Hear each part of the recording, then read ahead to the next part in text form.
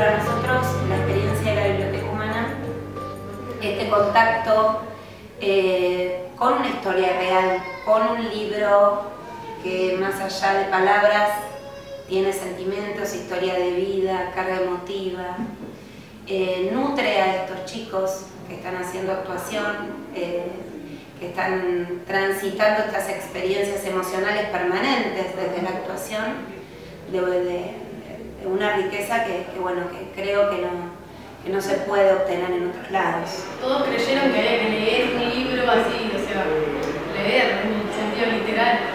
Eh, y no, después nos terminó explicando que, era, que había que buscar como eh, hacer, tener una persona, en realidad leer un libro físico, eh, y había que... Una persona que contaba su historia. Claro, claro. todo como dejar su huella acá en nosotros, que somos jóvenes y que falta muchas cosas para aprender. Como charlar que el dolor en sí, el físico del cuerpo, eh, se va, queda ese, ese, dolor del sentimiento, el dolor de así, de, lo gris. Sí, la de fue muy interesante y también muy dura, estuvo, estuvo secuestrado, pasó momentos muy difíciles con mi hermano y pudo salir de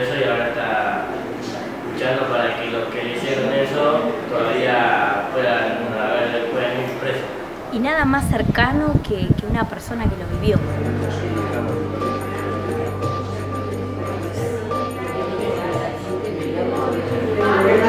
desaparecida, aunque una ya una con su y después encontrado los rostros.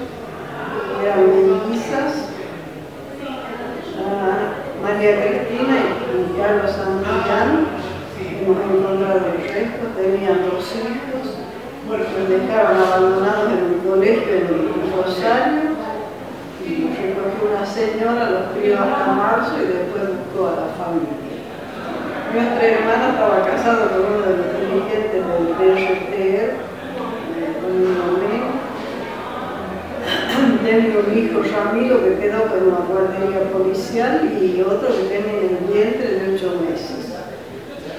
Así que bueno, Ramiro lo recuperamos nosotros y el otro se crió con una familia apropiadora que se los dio una, o los dio, los vendió, no sé, una partera que ya había entregado seguramente dos chicos más de, de chicas desaparecidas.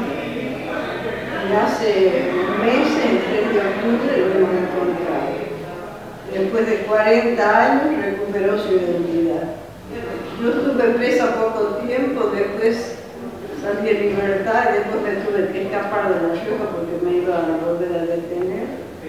Me fui al exilio, estuve un año en Uruguay y siete años en España.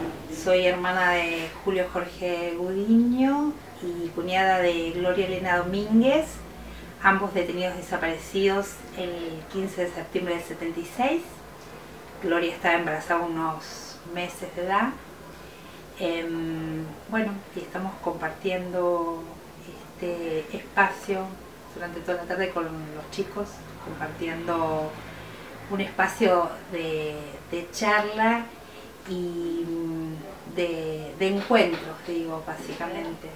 Un placer haber compartido, haber sido libro hoy y sobre todo poder contar lo que significó para mí en mi historia la ruptura que produjo el 24 de marzo del 76, ya que fue un antes y un después eh, de la militancia estudiantil que yo tenía y fueron muchos años de estar con parte de mi vida congelada y cerrada y que la posibilidad de reencontrarme con casi todos mis compañeros de escuela secundaria y militancia en el 2010, este reencuentro permitió cerrar parte de la historia y volverme a reconectar con esos sentimientos que habían quedado congelados.